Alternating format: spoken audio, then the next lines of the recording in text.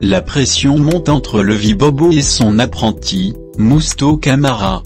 Après plusieurs interprétations au sujet de leur embrouille, le Vibobo est finalement sorti du silence ce jeudi, 25 février. En accordant une interview à nos confrères de Guinée People, le Vibobo a donné sa version des faits. J'ai connu Neyand en 2016 à Bruxelles. On a même fait un clip ensemble. Mais on s'est perdu de vue depuis tout ce temps. Elle est venue me voir un jour à un de mes événements à Oxygène en compagnie de Globizine Fofana. C'est lui-même qui m'a présenté Ney parce que je l'avais même pas reconnu. Il m'a demandé d'intervenir auprès de Mousto car la femme a fait plusieurs mois à Conakry sans le voir. C'est ainsi qu'on s'est donné rendez-vous à Riviera Hotel en présence de mon staff.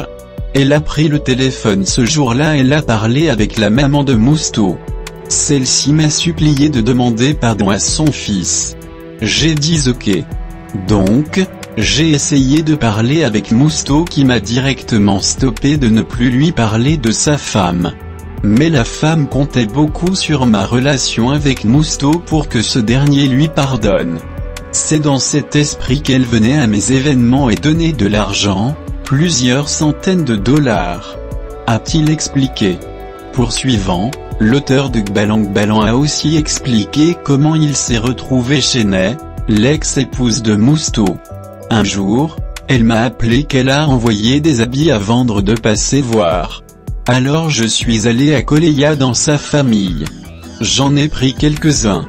De là-bas, j'ai appelé Mousto pour lui demander encore pardon encore.